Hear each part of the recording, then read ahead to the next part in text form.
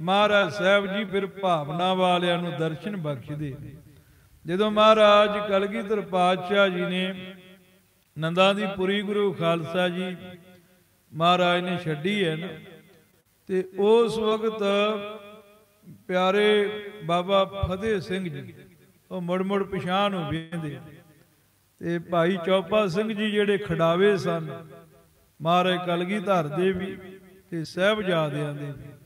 ਬਜ਼ੁਰਗ ਹੋਏ, ਉਹਨਾਂ ਪੁੱਛਿਆ, ਬਾਬਾ ਫਤਿਹ ਸਿੰਘ ਜੀ, ਪਛਾਣ ਨੂੰ ਮੁੜ ਮੁੜ ਵੇਂਦੇ ਹੋ, ਜਾਪਦਾ ਮੋਹ ਪੈ ਗਿਆ ਨੰਦਾ ਦੀ ਪੁਰੀ ਨਾਲ।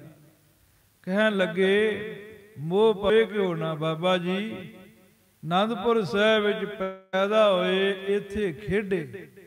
ਇੱਥੇ ਆਪਣੇ ਦਾਦਾ ਗੁਰਦੇਵ ਦੇ ਦੇਰਵੇ ਦੇ ਦਰਸ਼ਨ ਕਰਦੇ ਰਹੇ। ਪਿਓ ਦੀ ਗੋਦ ਵਿੱਚ ਕਿਲਕਾਰੀਆਂ ਮਾਰਦੇ ਰਹੇ। ਦਾਦੀ ਅੰਬੜੀ ਦਾ ਮੁਖੜਾ ਚੁੰਮਦੇ ਰਹੇ। ਮਤਾਵਾਂ ਦਾ ਨਿਗ ਮਾਰਿਆ ਆਪ ਦੇ ਗਧੇੜੇ ਚੜੇ ਅੱਜ ਛੱਡ ਕੇ ਚੱਲੇ। ਮਹਾਰਾਜ ਕਲਗੀਧਰ ਪਾਤਸ਼ਾਹ ਦੀ ਅਚਾਨਕ ਪਛਾਣ ਨੂੰ ਨਿਗਾਹ ਪਈ। ਤੇ ਮਹਾਰਾਜ ਸਾਹਿਬ ਜੀ ਮੁਸਕਰਾ ਕੇ ਕਹਿਣ ਲੱਗੇ, ਪਿਆਰੇ ਫਤਿਹ ਸਿੰਘ ਜੀ, ਕੀ ਬਚਨ ਕਰਦੇ ਨੇ ਬਾਬਾ ਚੌਪਾ ਸਿੰਘ ਜੀ? ਤਾਂ ਪਿਆਰੇ ਚੌਪਾ ਸਿੰਘ ਨੇ ਕਿਹਾ, ਮਹਾਰਾਜ ਨੰਦਾ ਦੀ ਪੁਰੀ ਨੂੰ ਛੱਡਣ ਦਾ ਵਿਰਾਗ ਕਰਦੇ ਨੇ।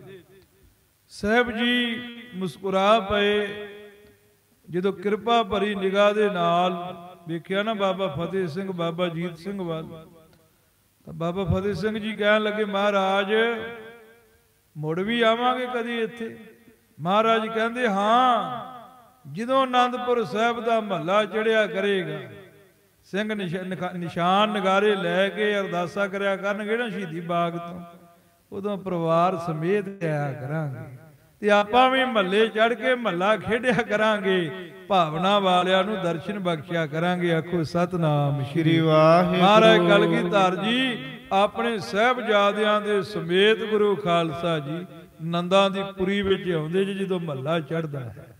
ਉਦੋਂ ਦਰਸ਼ਨ ਬਖਸ਼ਦੇ ਨੇ। ਸੋ ਮਹਾਰਾਜ ਸਾਹਿਬ ਜੀ ਨੇ ਇਤ ਸਤਗੁਰ ਬਿਗਰਹਿ ਗ੍ਰੰਥ ਬਿਰਚਤੰ ਸੁਭੰ। ਇਹ ਮਹਾਰਾਜ ਸਾਹਿਬ ਜੀ ਨੇ ਸਤਿਗੁਰੂ ਗੁਰੂ ਨਾਨਕ ਸਾਹਿਬ ਜੀ ਦਾ ਸਰੂਪ ਗੁਰੂ ਗ੍ਰੰਥ ਸਾਹਿਬ ਜੀ ਉਹਦੇ ਬਾਰੇ ਕਥਨ ਕਰਕੇ ਪਿਆਰੇ ਭਾਈ ਦਇਆ ਸਿੰਘ ਨੂੰ ਦੱਸਿਆ ਹੈ। ਸੰਤ ਗਿਆਨੀ ਗੁਰਬਚਨ ਸਿੰਘ ਜੀ ਖਾਲਸਾ ਪਿੰਡਰਾਂ ਵਾਲੇ ਮਹਾਂਪੁਰਖ, ਉਹਨਾਂ ਨੇ ਗੁਰੂ ਗ੍ਰੰਥ ਸਾਹਿਬ ਜੀ ਦੀ ਗੁਰਤਾ ਗੱਦੀ ਦਾ ਪ੍ਰਸੰਗ ਗੁਰੂ ਖਾਲਸਾ ਜੀ ਗੁਰਮੁਖ ਪ੍ਰਕਾਸ਼ ਗ੍ਰੰਥ ਦੇ ਵਿੱਚ ਲਿਖਿਆ ਹੈ, ਉਹਨਾਂ ਮਹਾਂਪੁਰਖਾਂ ਨੇ ਜਿਵੇਂ ਭਾਵਨਾ ਦੇ ਨਾਲ ਲਿਖੀ ਹੈ, ਆਓ ਅੱਜ ਦੇ